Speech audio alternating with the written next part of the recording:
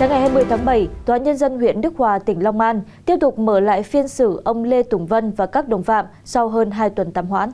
Trước đó ngày 30 tháng 6, phiên tòa xét xử vụ tỉnh thất Bồng Lai được mở, nhưng hội đồng xét xử cho biết Giáo hội Phật giáo Việt Nam tỉnh Long An và một số luật sư có đơn xin vắng mặt.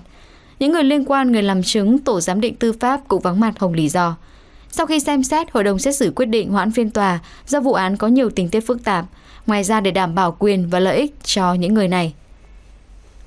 Tại phiên tòa ngày 20 tháng 7 lần này, do tính chất phức tạp của vụ án nên chỉ có những người làm nhiệm vụ, người có quyền lợi, nghĩa vụ liên quan và phóng viên được vào trong tòa. An ninh được thắt chặt, kiểm soát nghiêm ngặt từ phía ngoài đường chính vào cổng. Những người không có phận sự theo dõi từ xa cách cổng hơn 100 mét. Phía bên ngoài tòa, nhiều người hiếu kỳ và các youtuber cũng đã đến từ sớm. Do không được vào trong, họ ngồi tại các quán giải khát phía trước cổng quan sát để bắt đầu livestream. Những người liên quan để dự phiên tòa phải xuất trình giấy triệu tập và những giấy tờ tùy thân. Báo chí liên hệ tác nghiệp phải có giấy giới thiệu. Đồng thời đồ đạc tư trang được lực lượng an ninh kiểm tra kỹ lưỡng trước khi vào trong phiên tòa. Khoảng 7 giờ 15 phút, các bị cáo được xe chuyên dụng áp giải từ nơi tạm giam đến Tòa án Nhân dân huyện Đức Hòa. Dự kiến phiên tòa xét xử diễn ra vào lúc 8 giờ. Do viên xử vụ tính thất Bồng Lai thu hút sự quan tâm rất lớn của dư luận, thậm chí nhiều người dân và youtuber có mặt khu vực phía ngoài trụ sở Tòa Nhân dân huyện Đức Hòa từ sớm để theo dõi nên đảm bảo an ninh cho phiên xử vụ tính thất Bồng Lai, Công an huyện Đức Hòa, tỉnh Long An bố trí khoảng 100 cảnh sát bảo vệ trong và ngoài trụ sở Tòa Nhân dân huyện. Sáng 20 tháng 7, khoảng 100 cảnh sát được điều động đến Tòa án Nhân dân huyện Đức Hòa, tỉnh Long An để bảo vệ phiên xử ông Lê Tùng Vân và đồng phạm liên quan vụ án xảy ra tại tỉnh Thất Bồng Lai. Các phóng viên đăng ký tác nghiệp được kiểm tra an ninh trước khi vào khu vực xét xử. Lực lượng chức năng cho phép mỗi cơ quan báo chí có tối đa 2 phóng viên và tác nghiệp. Phóng viên sẽ theo dõi phiên xét xử qua màn hình TV. Lực lượng chức năng kiểm tra an ninh tất cả những người được phép vào khu vực trụ sở tòa án. Nhiều cảnh sát giao thông được huy động để hướng dẫn xe cộ lưu thông, tránh tình trạng ùn ứ tập trung đông người trước cổng tòa án. Phía trước cổng tòa án, cảnh sát cắm bảng không phận sự cấm vào. Ba xe cảnh sát đưa năm bị cáo trong vụ án đến tòa. Riêng Lê Tùng Vân được tại ngoại trong quá trình điều tra, đến tòa bằng xe 7 chỗ. Tại phần thủ tục phiên tòa, ông Lê Tùng Vân và bà Cao Thị Cúc 62 tuổi, chủ tịch tỉnh thất Bồng Lai được ngồi do sức khỏe yếu.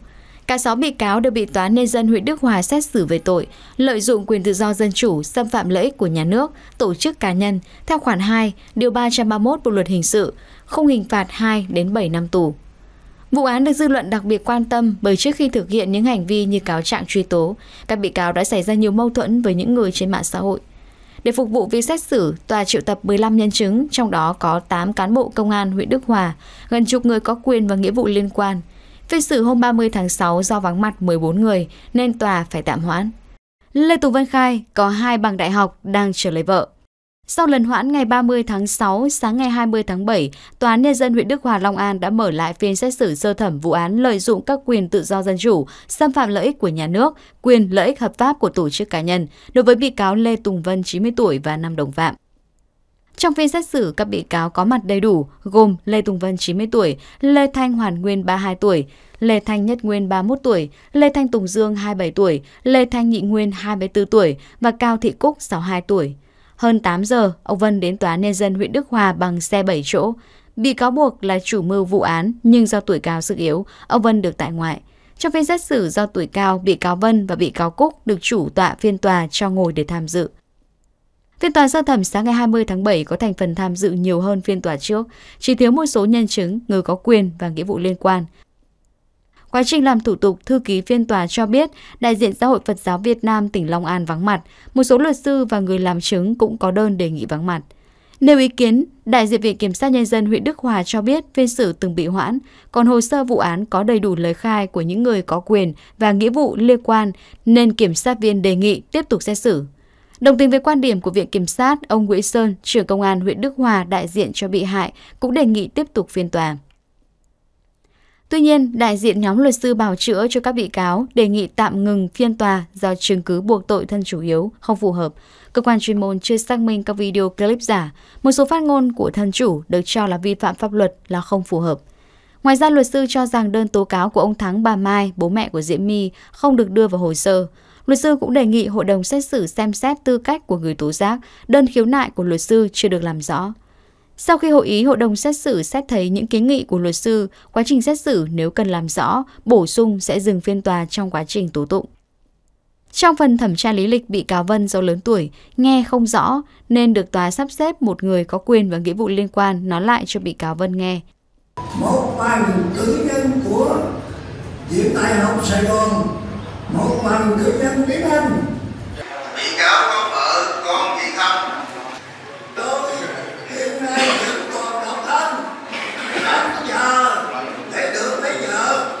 Là người đầu tiên trả lời thẩm vấn, bị cáo Lê Tùng Vân cho biết sinh ngày 21 tháng 2 năm 1932, tuy nhiên không nhớ nơi sinh. Bị cáo nói, năm nay tôi 92 tuổi, do lớn tuổi quá nên không nhớ địa chỉ nơi sinh.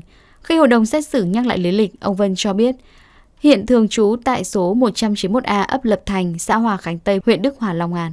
Ông khai, tôi quá già nên không có nghề nghiệp gì, trình độ đại học, có hai bằng cử nhân, không có vợ con. Khi được hỏi thêm, bị cáo cho biết có bằng cử nhân tại Đại học Sài Gòn và bằng cử nhân tiếng Anh. Đáng chú ý bị cáo 90 tuổi khai vẫn còn độc thân, chưa có vợ, đang đợi lấy vợ. Đáng chú ý bị cáo Vân trả lời khá rõ ràng, nói mình không theo tôn giáo nào và vẫn còn độc thân đang chờ lấy vợ. Khi hỏi đến các bị cáo còn lại, bốn bị cáo trừ bà Cúc khai không biết cha mẹ là ai và không có thông tin gì về cha mẹ. Bị cáo Trung Dương còn cho rằng mình không biết cha, không biết mẹ và không hiểu tại sao trong lý lịch ghi là con của bà Cao Thị Cúc. Bị cáo Cúc cũng phủ nhận lý lịch có hai người con và cho rằng con của mình đều do người khác đưa nuôi. Trả lời hội đồng xét xử, các bị cáo này cho biết đều nhận được quyết định đưa vụ án ra xét xử, không yêu cầu thay đổi thành viên hội đồng xét xử. Các bị cáo cũng thừa nhận mình không theo bất cứ tôn giáo nào. Trong khi đó, bà Vòng Kim Hoa, đại diện của ông Lê Tùng Vân cho biết, bị cáo nói chưa nhận được quyết định đưa vụ án ra xét xử. Do tuổi cao trí nhớ kém, nên bị cáo Vân không nhớ đã nhận rồi hay chưa.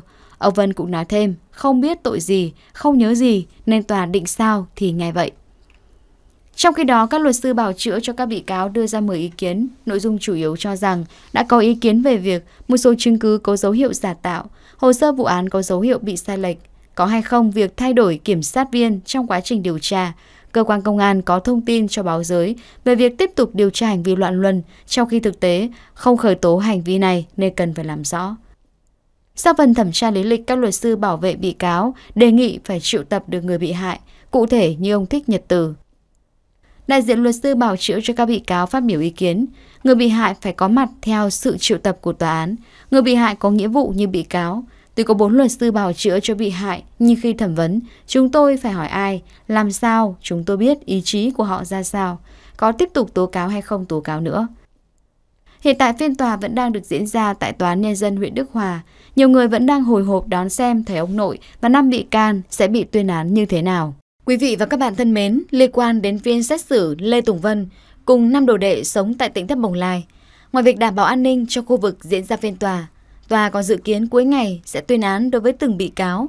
Ngay trong sáng 20 tháng 7, không chỉ người dân hiếu kỳ mà có nhiều YouTuber tập trung trước tòa án nhân dân huyện Đức Hòa, tỉnh Long An từ rất sớm. Có người đến đây từ hôm qua để sáng nay phát hình trực tiếp phiên xử vụ tỉnh Thất Bồng Lai. Cụ thể, ngày 20 tháng 7, Tòa Nhân dân huyện Đức Hòa, tỉnh Long An mở lại phiên xử ông Lê Tùng Vân và năm đồng phạm liên quan vụ án xảy ra tại tỉnh Thất Bồng Lai. Trước đó, ngày 30 tháng 6, ông Lê Tùng Vân cùng 5 người tại tỉnh Thất Bồng Lai bị đưa ra xét xử, nhưng phiên tòa tạm hoãn vì vắng nhiều nhân chứng.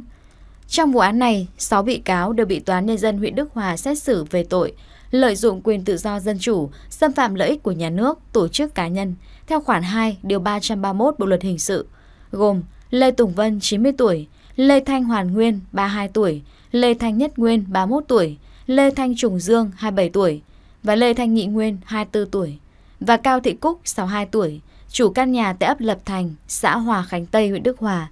Các bị cáo có thể bị xử phạt theo khung hình phạt từ 2 đến 7 năm tù.